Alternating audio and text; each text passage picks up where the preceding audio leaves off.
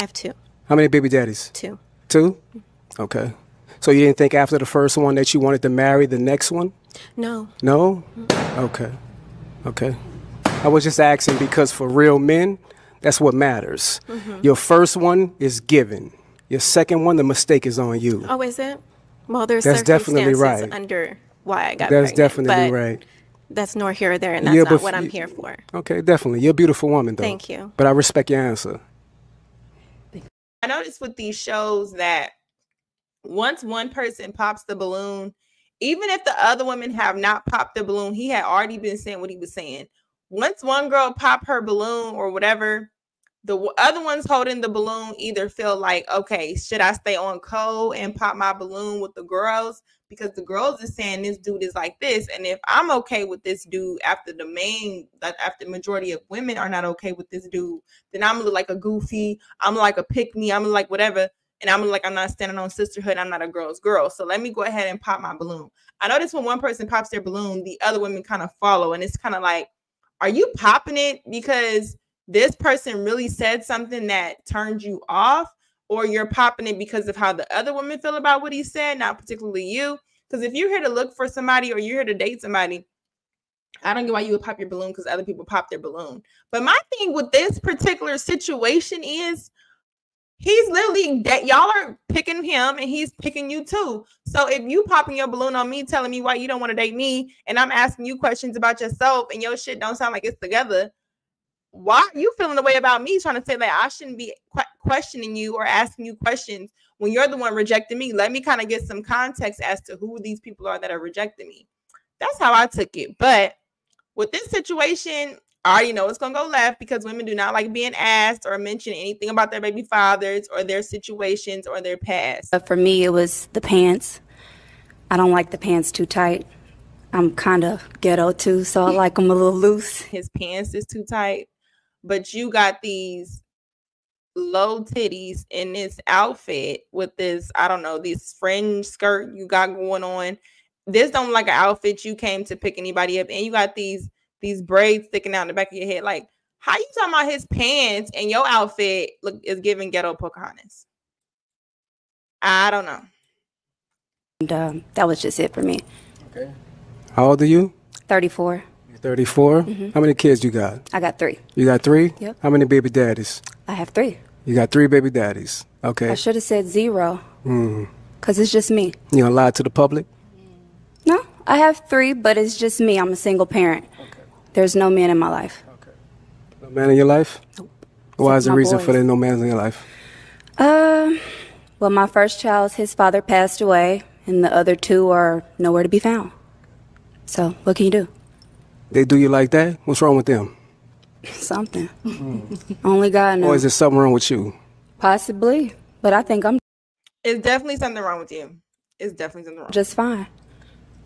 You think you're just fine after expressing that you did not choose him because of his pants, but I'm sure your baby fathers had loose pants and they still ran off after they got coochie and got you pregnant. And now you had you, you one of them passed away, and then the other two are just deadbeats. So I'm gonna assume the first one had to be a deadbeat too, because I don't think that you just had a good option the first time. You can pick good the first time, and then the other two, it was just horrible.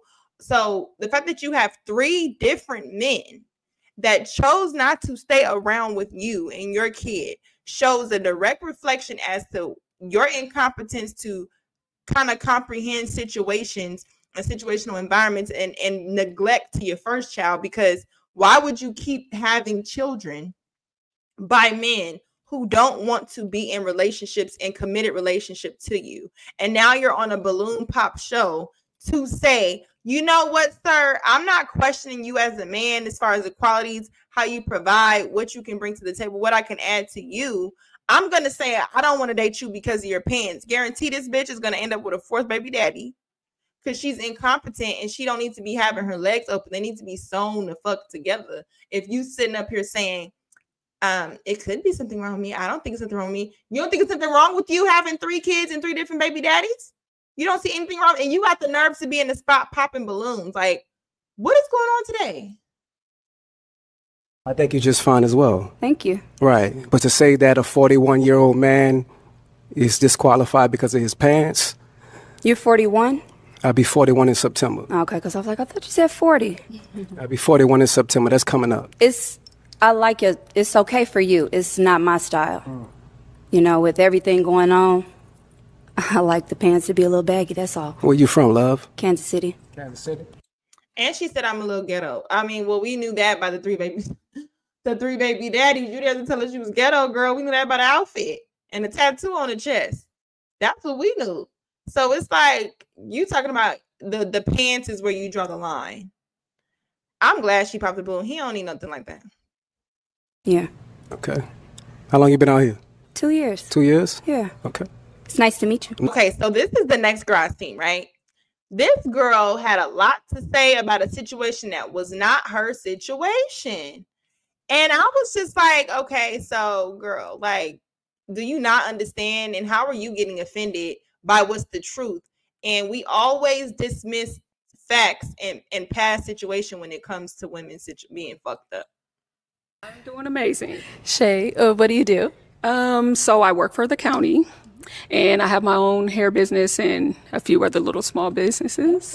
All right. And now, why did you end up popping your balloon? So originally I was feeling it. I, I, I like a, I don't want to say a bad boy, but I like somebody that's outspoken. But the question of, I feel like you're challenging the women. Oh, how many baby daddies you got? And then, you know, it, it's just that's does that matter? You say future, so that's their past. It's not their future. How many uh, kids do you have? I have one daughter. She's 19. Do you want more? I do. My balloon still pop because I don't want any more. okay. You don't want any more? Not at all. I You have. a- can't I have one. any more. You you, No, you I'm choose choosing. not I to choose have not any to have any more. I have a Okay. uh, almost 14 year old, and Okay. Yeah. Well, the reason for me asking their past about the baby daddies because it lets me know where they're going in their future. If you didn't have, if you didn't want to have a baby daddy for the second time, then that lets me know that you was uncareful of what you're dealing with. do you necessarily Okay. believe that somebody's past is their past that don't determine their future? Not- because not- I mean, I can look at you and say, say like you, uh, you, you made people make mistakes. And it could happen. I, I feel like once or twice. Okay, some things become a choice, but No, your no, past no. doesn't determine. When it comes to w- once is a mistake. Twice, that's on you. Okay, so then say like you get into a relationship with somebody, you get married, and things don't work. So then I guess you made a mistake, or and then so you once is a mistake, and then twice is. I don't believe in it. I hate when men say that. So if you get married and he doesn't stick around, it's a mistake. The difference is, is you got married, unfortunately, for people, for women, or us who don't really realize that. The reason what he's saying is because if you had a baby the first time without a commitment, just in whatever shacking up situation, not saying the person didn't love you, but you had something that was not on paper to say that this person wants to commit to you, then it the what you did in the process you went to build your family or start your family was a mistake because there there always should be order when it comes to raising kids so that, that they can emulate. Now, even though kids don't know that you're married or not, they still need to there still needs to be some sort of commitment where you will require a man to do this, especially if you're out back out here dating and you're requiring a man to marry you. So that means that that's something you wanted, you knew it's what you wanted even before you had the first child. So to go back out in the world, have another child under the same circumstances, but a nigga who do not want to be there, have a third kid with a nigga who don't want to be there. Now you have three broken homes that you've allowed to come out of your coochie. Now, fact the fact that she said you're kind of challenging the women. No, he's asking questions so I can identify with the type of women who feel like they're so above that they can reject me off of something as small as my damn pants or whatever the case may be. When you literally have, you're literally asking a man or a person to come into an environment with with multiple homes by multiple men. So that means they have to, even if the fathers were there or whatever the case, the fact that they aren't there, I'm dealing with certain um, depending on how old the kids are, I'm gonna be having to take heed to their mental state and make sure they don't have any abandonment from one father. So I may have to step fill the shoes of someone else that's not there. And then in, in the one that says she was ghetto, usually in ghetto situations, the baby daddy gonna start trying to come back around when he sees somebody else coming around. So because she's ghetto, I have to assume you probably the type to text and be jealous. You're probably immature, all this other stuff, and you have the audacity to reject me. The first girl, yeah, I have multiple kids. I do, and you're being co- overly confident in it, and you shouldn't be. The fact that you're sitting on a high horse to say, "Oh, he's not for me," and it wasn't even a, a reasonable reason as to why somebody is not for you. And now women like you step into those shoes to say, you know what? I'm going to defend them, even though this ain't even your fight, girl. You you rejected him off of why he didn't want to be with someone else, not the fact that you got multiple kids and you probably looked the other way. This ain't even your situation. I'm rejecting you as to how you curve the next bitch. Instead of understanding this is a competition, so you should like the fact that he curves someone else and you have a better opportunity with a man who has less baggage and who has a problem with women with baggage. But no, you put yourself in a situation to compete with women that you really shouldn't even be competing with because you're not in the same lane. You should have thrived in this situation. But no, I'm gonna do my my my due diligence and be there for women and be pro women and say, you know what? I don't like the way you talk to those women. So it kind of sounds like you should be dating them. Not, because not, I mean, I can look at you and say, say like you, uh, you, you made people make mistakes and it could happen. I, I feel like once or twice, okay, some things become a choice, but no, no, no. doesn't determine. When it comes to once, is a mistake. Twice, that's on you. Okay, so then say like you get into a relationship with somebody, you get married, and things don't work. So then I guess you made a mistake, or and then so you once is a mistake, and then twice is. I don't believe in that because I believe things happen. Sweetheart, twice is on you. Okay. You should have learned from that very no, first mistake. It, okay. And not saying that your child yeah, Pat, I'm glad she popped her balloon. Somebody who does not understand this basic concept is a retarded person. The and I'm sorry for the R word to anybody, but I'm saying this as a as a loose way, as another form of stupid. Because this girl is literally having a problem with comprehending that to say you had a mistake multiple times, it doesn't determine me. Yes, it does if you're still in a position where you're calling them mistakes and you're not acknowledging and taking accountability for your lack of carefulness, is what he's saying. You're saying, oh no, that doesn't determine it. Yes, it does. If you're still making excuses for it, that means that you're liable to do the same thing again, or you're liable to teach this to other children. And if I already have a daughter who's 19, it would be, but they my daughter going to be judging me if I bring a woman to her that I'm willing to be with for real. And this is the way that she thinks. Women like this who cape for other women's bullshit is the problem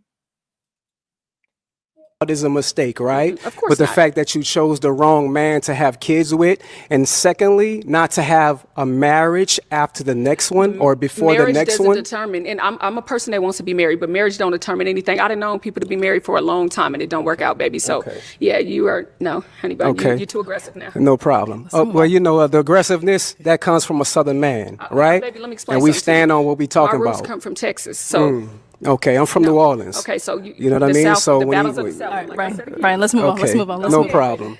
Have a good day, love. She's being mad aggressive, saying, "Oh, you're an aggressive man," because he's standing on principles and he's saying what he like and what he don't like. And now because you may fit the description or you don't like what he dislike, oh no, you too aggressive. Nothing about what he did was aggressive. And that let's be real. Why do women have a problem with men being aggressive, but then we have a problem when he's not aggressive in certain situations? We want him to protect us. You're not gonna get everything. Why should I be soft spoken to women who rejected me off of dumb shit? Now, this is a lesson to teach you because somebody did not teach you these particular things. Tell a friend to tell a friend.